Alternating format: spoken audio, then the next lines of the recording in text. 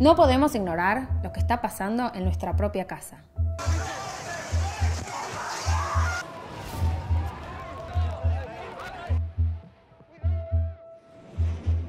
Estos tres atentados terroristas tienen algo en común. Fueron planeados por Hezbollah. Hezbollah, que significa Partido de Dios en árabe, es una organización terrorista reconocida internacionalmente cuya base es en el Líbano. Su principal objetivo, destruir a Israel. Irán financia Hezbollah con aproximadamente 700 millones de dólares al año. En el exterior, pareciera que la mayoría de las actividades de Hezbollah ocurren en el Líbano, Siria e Israel, al otro lado del mundo. Pero realmente Hezbollah está convirtiendo a Latinoamérica en un nuevo centro de terrorismo. Por ejemplo, la Triple Frontera. Tras la detención de varios contrabandistas en la ciudad fronteriza de Foz de Iguazú, el Hezbollah está infiltrándose en diferentes países de la región. La presencia de redes vinculadas a grupos terroristas. Allegations that some Latin American drug trafficking organizations are linked with Hezbollah and Iran. La Triple Frontera es el eje de la inserción de Irán y el Hezbollah en América Latina. Contrabando, del tráfico de armas, eh, del propio lavado de dinero, del tráfico de drogas. Las fronteras de Argentina, Paraguay y Brasil se encuentran en este punto, a lo largo de los ríos Iguazú y Paraná. Una combinación de la proximidad geográfica y la facilidad de viajar entre fronteras convierten a esta región en el núcleo de actividades ilícitas del continente. Para Hezbollah, la triple frontera es un cuartel general fuera del Líbano, y les ofrezco un ejemplo de cómo operan.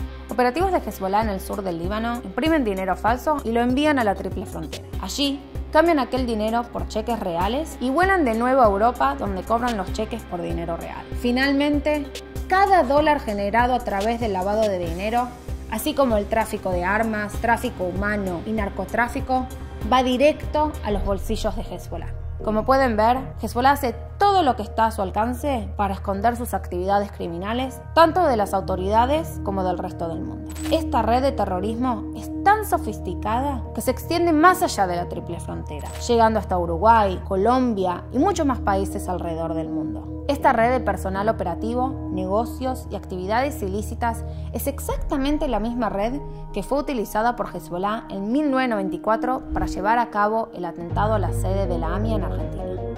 Y hasta el día de hoy, 2021, a 27 años del atentado a la AMIA, sigue activa. La distancia no es obstáculo para la organización terrorista más grande del mundo. Pero, ¿qué fines tiene este dinero?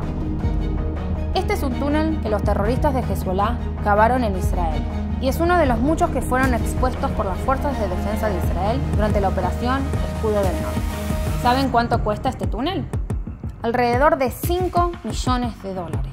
Este dinero es utilizado por la organización terrorista para atacar a Israel y a sus civiles. Incluso en el sur del Líbano, Hezbollah no duda en esconder cohetes y bombas debajo de casas, hospitales, centros religiosos y escuelas donde niños juegan. Si son capaces de poner a su propia gente en peligro, ¿qué no están dispuestos a hacer en el resto del mundo? Ya presenciamos en los 90 lo que Hezbollah es capaz de hacer. Los israelíes ya conocen el potencial de la organización terrorista Hezbollah y por eso haremos todo lo que sea necesario para detenerlos. ¿Qué harías si ellos llegaran y atacaran tu propia casa? ¿Y si ya están allí? Las fuerzas de defensa de Israel se mantienen listas para defender a sus civiles de amenazas enemigas. La lucha contra el terrorismo no debería tener fronteras, ni banderas, ni ideologías. Comparte este video.